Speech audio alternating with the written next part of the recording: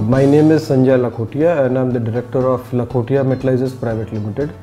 I have a very long association with Uflex. So it's not just an extrusion lamination that I'm using. I'm having their printing machines, I'm having their inspection rewinder, slitting machines, etc. And uh, after sales service is the most major reason for which I'm associated with them. Uflex developed uh, this extrusion lamination first time in India. Before finalizing this machine, I visited China, I visited Korea and I visited Taiwan. I made a comparative sheet of what features and at what price they all were offering and at what terms. In this sheet, you can say Uflex stood at number one position. I have been using Uflex machines for more than a decade and uh, experience is, so far is superb.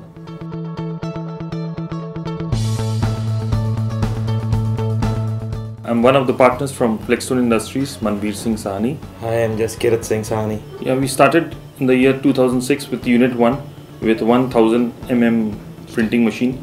Then we expanded into Unit 2, 1300 ELS. Now Unit 3 came up with an extrusion machine and our Unit 4 is coming up, it's under construction, which is again a printing machine. And hopefully in the near future, we might be thinking of planning about a CI Flexo and another extrusion machine if God willing everything goes well.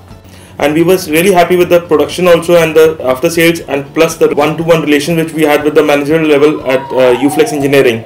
We get services within hours. Now we have gone to extrusion also and I don't think so it's less than any other imported machinery. We've compared all the other machines worldwide. We've seen the machine quality is at par with international level. So we were very happy with the services and the quality. So that's why we opted for Uflex machines always.